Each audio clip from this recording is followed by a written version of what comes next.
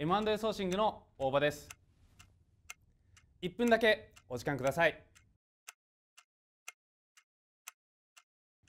M&A はこれからますます増えていくにもかかわらず経営者様と M&A 仲介会社様の商談これがなかなか取りにくくなっている。この矛盾を解決したいと思ったからです。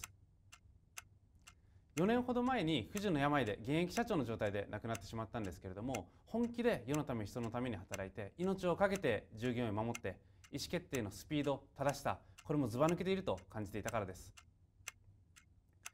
安定を求める人生っていうのはつまらないと思っているからです。